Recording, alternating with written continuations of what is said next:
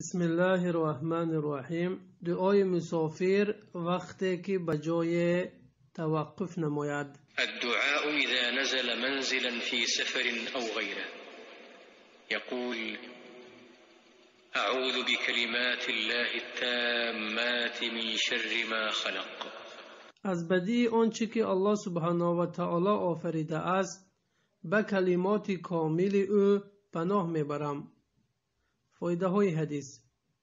Калимот ва суханони аллоҳ субҳанаҳу ватаоло бар ду навъ аст.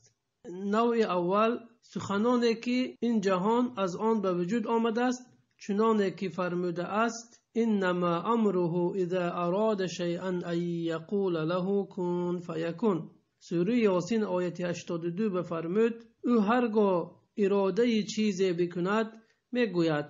Шав паст пайдо мешавад. Фоидаи дуввум суханоне ки аз он шариат ба вуҷуд омадааст ки ҳамон ваҳйи илоҳӣ аст. Фоидаи дуввум танҳо ба аллоҳ субҳанаҳу ватаоло таъкия кардан ва аз ӯ кӯмак талабидан инсонро дар таҳқиқи тавҳиди холис кӯмак мекунад.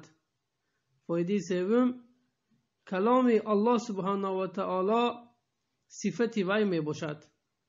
Ва махлуқ нест.